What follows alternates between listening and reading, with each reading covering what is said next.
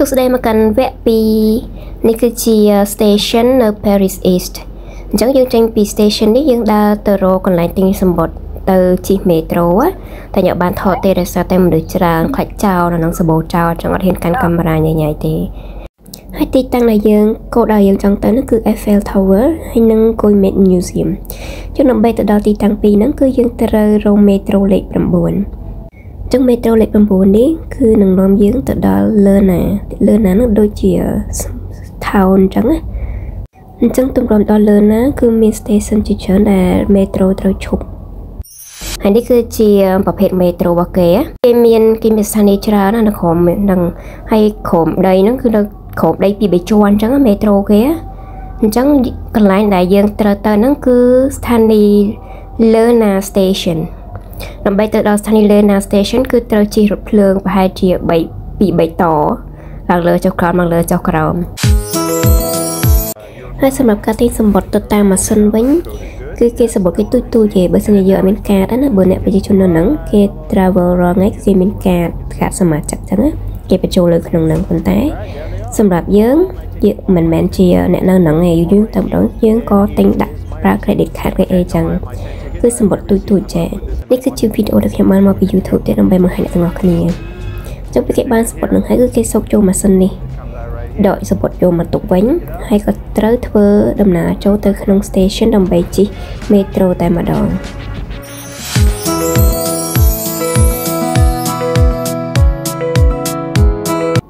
ចានេះគឺ ticket pass ដើម្បីដាក់សម្បត្តិចូលទៅជិះរថភ្លើងចារថភ្លើងមេត្រូអូខេបន្ទាប់ពីជិះអឺដេះភ្លើងក្រោមដី3 4វគ្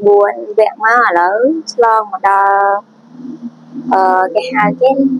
Lerna right baby is it Lerna Lerna Lerna Mall Museum ឥឡូវជិះអឺហើយឥឡូវចេញមកក្រាស់ហើយ ប្រើទៀតទៅទៅចានេះគឺនៅច្រកចេញពីមេត្រូមក Metro Station របស់លើណាចេញមកគឺឈរនៅមុខនឹងសឹងប៉ុន្តែឈរនៅកន្លែងហ្នឹងគឺដល់ស្ដាប់មន្ទីរគុយមេតែម្ដងតែយកបានចាប់អារម្មណ៍ណាដោយសារតែមានការត្រូវទៅ supermarket អញ្ចឹងត្រូវការទិញរបស់របរបន្តិចសម្រាប់ប្រើប្រាស់ហើយក៏ដើរទៅ supermarket សិនហើយបានរក Google Map រក Google Map វិញរក Google Map ថាង ហើយកន្លែងយើងចេញពីមេត្រូមិញហ្នឹងអីហ្នឹងអង្គុយ Made Museum ថាអឺនៅចិត្តនឹងនៅក្រោយខ្នងដើរទៅដើរមកអញ្ចឹងហើយយើងមើល bus គេនេះ bus សម្រាប់ជិះនៅក្នុងទីក្រុងប៉ារីស bus គេសម្រាប់ tourist ស្អាតតែលយគេជិះមើលទេសភាពហ៎គេ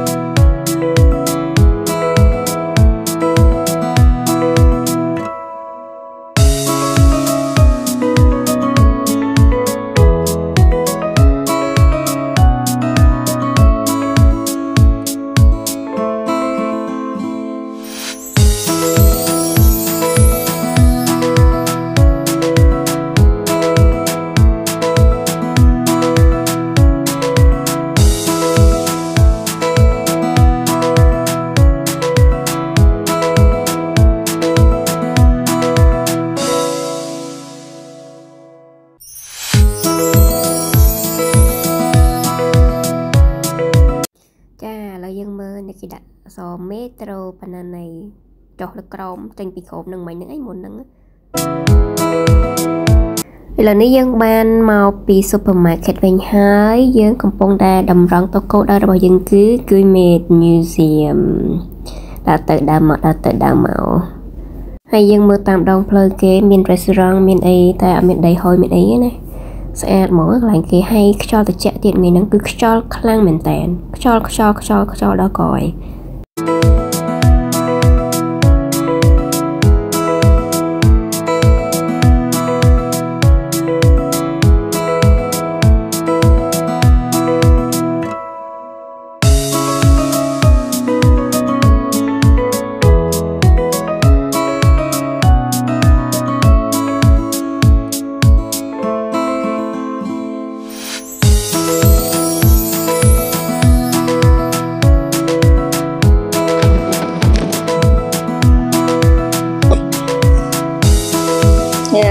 ឥឡូ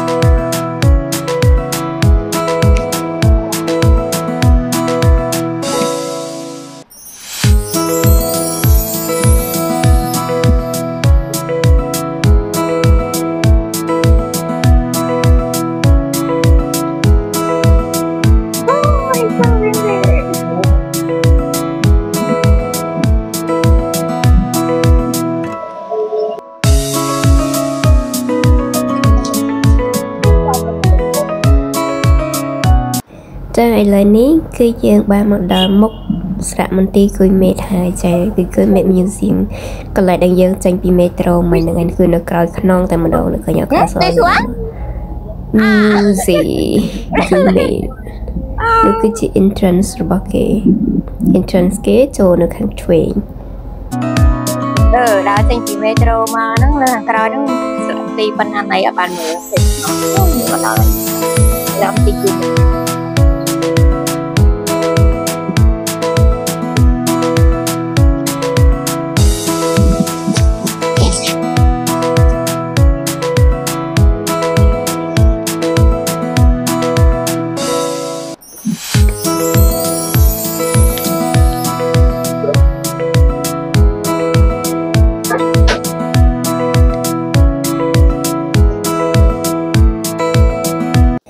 ចូលមកគឺត្រូវតែទៅទិញសម្បត្តិសិនចាដើម្បីបានចូលទៅខាងក្នុងហ្នឹងឯង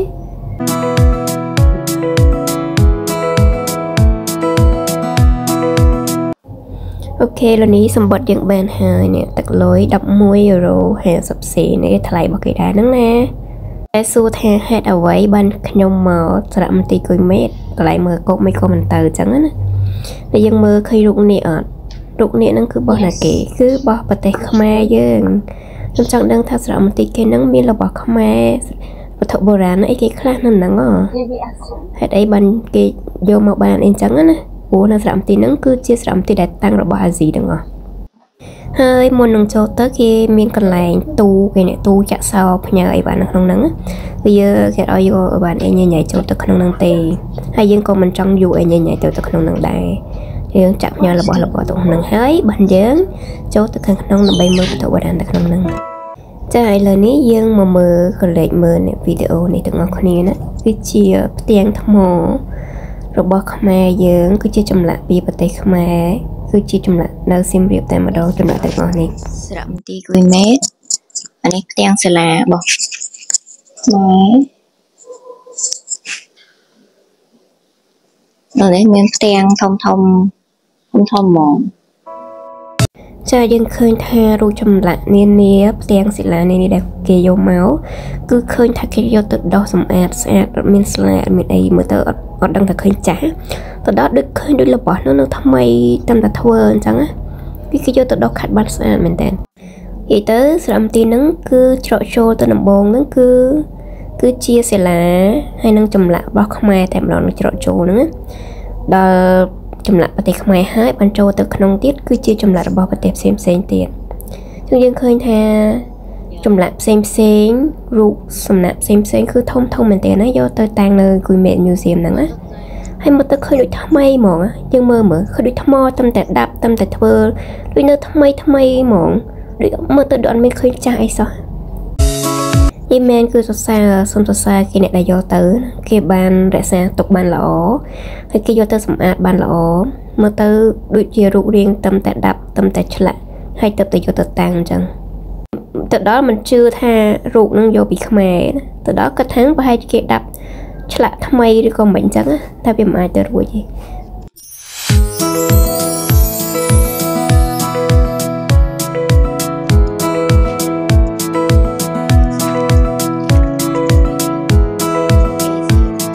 ហើយយើងមើលនោះរូបផ្ទាំងថ្មប៉ុណ្ណានៃដូចសុំរូបថតអញ្ចឹង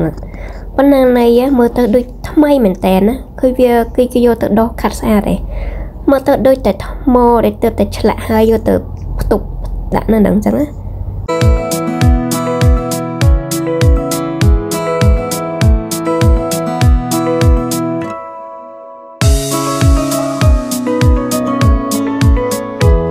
អូអានេះស្ពាន់ណាអ្នករូបនេះរូបស្ពាន់ហ្មងណា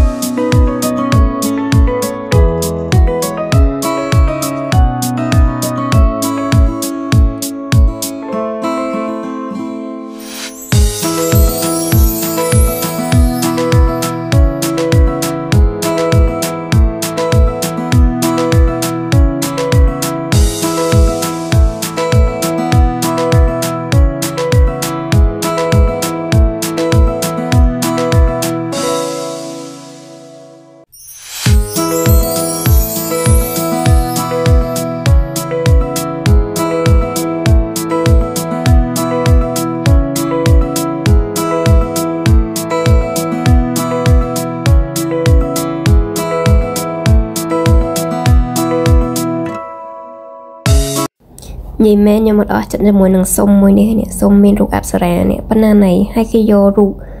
ព្រះផ្សេងយកមកដាក់កដាលអញ្ចឹងទៅវាមិនមែនជារបស់ខ្មែរទេវាអត់ស៊ីគ្នាសោះហ្មងហើយខ្ញុំឃើញសុំនឹងខ្ញុំស្រឡាញ់មែនតើណាយកមកទាំងដុំអញ្ចឹង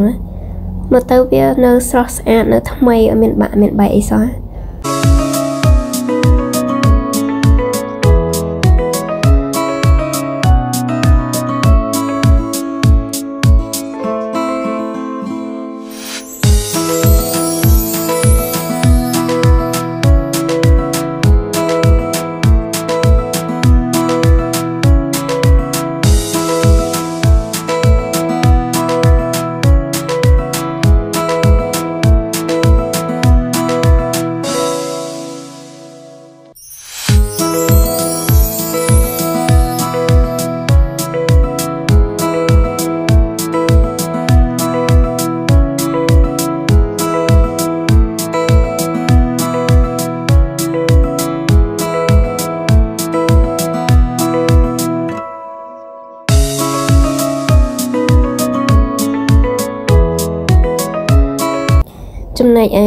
វិញគឺចូលទៅដល់ស្ថាបត្យកម្មសិល្បៈបែបឥណ្ឌាក្នុងនោះមានឥណ្ឌាមានជប៉ុនមានកូរ៉េមានចិនមានវៀតណាម គឺតាំងរបស់អាស៊ីទាំងអស់តែម្ដងតែសម្រាប់អឺការតាំងរូបចម្លាក់ផ្សេងផ្សេងរបស់ប្រទេសផ្សេងហ្នឹងមើលទៅវាមិនសូវជាគួរចាប់អារម្មណ៍ដូចជាវត្ថុបុរាណនិងរូបសំចម្លាក់របស់ខ្មែរយើងនោះទេ ចាអញ្ចឹងអ្នកទាំងអស់គ្នាអាចទស្សនាដោយរីករាយសម្រាប់ ចម្លាក់ផ្សេងផ្សេងរបស់ប្រទេសនានានៅក្នុងអាស៊ីដែលស្រមទីគួយមិនបានយកទៅតាំងនេះខ្ញុំអត់សមមានអីនិយាយច្រើនទេទេព្រោះអ្វីដែលខ្ញុំចាប់អារម្មណ៍ជាងគេនោះគឺជារូបសំណាករូបចម្លាក់ស្ថាបត្យកម្មសិល្បៈរបស់ខ្មែរ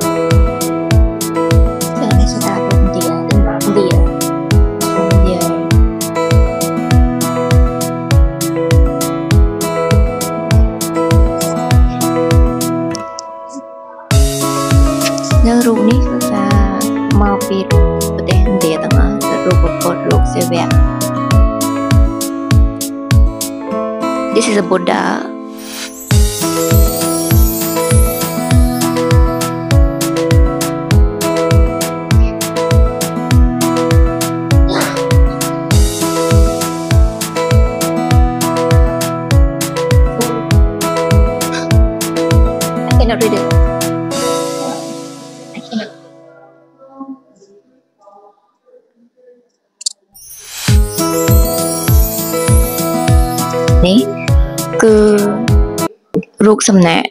រូបសំណាកគ្រប់ប្រទេសគឺនៅនេះទាំងអស់អញ្ចឹងមានគេមានមុខតិចមុខតិចមុខតិចអញ្ចឹងណាតែគាត់ថារូបរបស់ប្រទេសខ្មែរយើងគឺនៅចូលទៅគឺនៅមុខគេហ្មង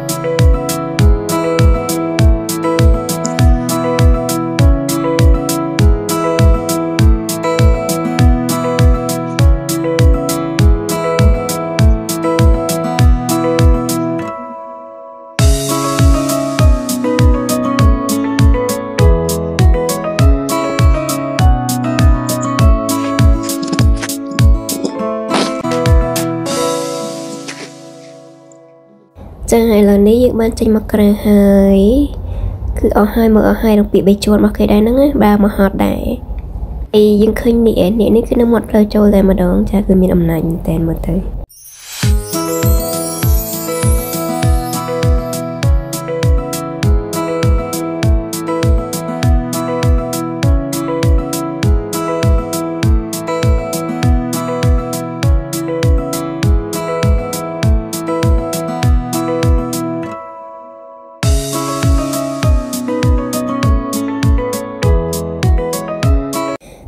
ចាយើងចេញពីសារមន្ទីរ Guimet យើងក៏ត្រូវធ្វើដំណើរទៅរក Eiffel Tower ចំណុច Eiffel Tower វាបែបណាតើវាកម្ពស់ម៉េចព្រោះនៅប៉ារីសហ្នឹងវាអត់មានអីគួរចាប់អារម្មណ៍មើលក្រៅពីទូ Eiffel ហ្នឹងណាហើយដើរទៅនេះក៏នៅតាមសួនច្បារនេះអាចថតបានប៉ុន្តែពេលទៅដើរទៅដល់ចិត្ត Eiffel Tower ជាគាត់ហ៊ានថតទេគឺខ្លាចចោលចោលច្រើនមែនតើ ហើយអ្នកលក់អីញ៉ៃៗតាមពេញដងផ្លូវនឹងឯងមើលទៅប៉ារីសវាមិនសូវជាសុវត្ថិភាពមើលទៅវាល្បីមែនអឺរ៉ុបមែនប៉ុន្តែវាអត់មានសុវត្ថិភាពតតែសោះ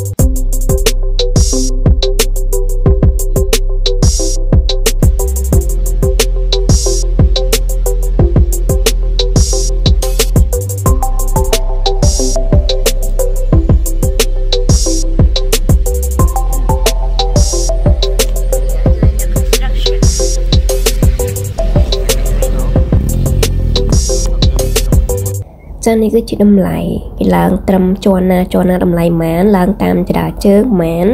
ហើយឡើងតាមចរាយន្តប៉ុន្មានហើយមុននឹងចូលទៅដល់ក្នុង គឺគេត្រូវឆ្លងកាត់ security check ថាយើងមានអាវុធអីឬក៏អត់ត្រង់ខ្លួនគេឲ្យចូលទេអញ្ចឹងឥឡូវនេះយើងបានចូលមកខាងក្នុងហើយបន្ទាប់ពីឆ្លងកាត់ security check យើងមើលតែសភាពវិញអត់គាត់ចូលមកដល់ក្នុងហ្នឹងគឺខ្យល់ខ្លាំងណាស់ណាខ្យល់ខ្លាំងហើយពេលចង់ឡើងទៅលើហ្នឹង ក៏ឃើញ display នៅ LED នេះគេថាដាក់ closed រ៉ៃឡើងទៅលើបានទេហើយយើងអត់បានកក់សបុតក៏អីទុកមុនអញ្ចឹងយើងក៏ពិបាកដែរអញ្ចឹងពិបាករកទិញសបុតមែនតើមនុស្សច្រើនណាស់ណាហើយទៅដល់ហ្នឹងប្រហែលជាម៉ោង1ម៉ោង2ដែរហេវណាហេវហេវហេវហេវមែនតើប៉ុន្តែចេះដល់អីយើងយកគ្រឿងញ៉ាំមកតាមខ្លួនយើងសល់នំប៉័ងសល់ហែមសល់សាច់ក្រក ហើយនឹងមានសាឡាត់មួយចានហ្នឹងក៏អង្គុយញ៉ាំនៅនឹងឯងខ្យល់ខ្លាំងអង្គុយញ៉ាំផងអីផងទៅឆ្អែតបានមួយពេលដែរហើយយើងក៏ត្រឡប់មកវិញក្រោយពីញ៉ាំសាឡាត់ហើយនេះគឺជាស្ទឹងសែន Paris យើងមកវិញក៏សុំឃ្លៀតថតតិចចឹងណាថតដោយប្រុងប្រយ័ត្នមែនតើកាន់កាមេរ៉ាកាន់អីហ្នឹង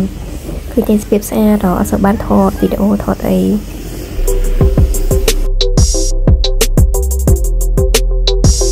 ហើយនេះគឺនៅសួនច្បារសួនច្បារផ្លូវមកខាងទៀតចេញពី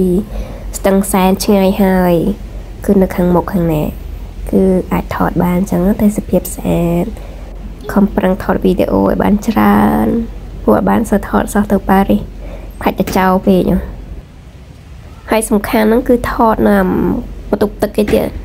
ខាងស្ដាំដៃហ្នឹងគឺជាបន្ទប់ទឹកសាធារណៈដែលគេចេញចូលចេញចូលលើលើបិទសលេងបិទបិទបើកបិទបើកបិទបើកអត់ ហើយទឹកគេសាធារណៈគេនឹងក៏ក្រិច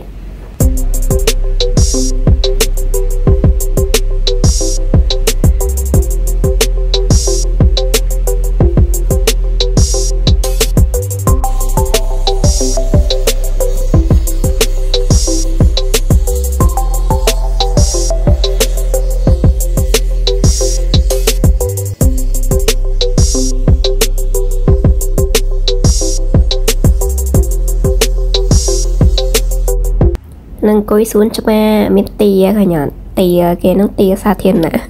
មានមានតែគេចាំឯង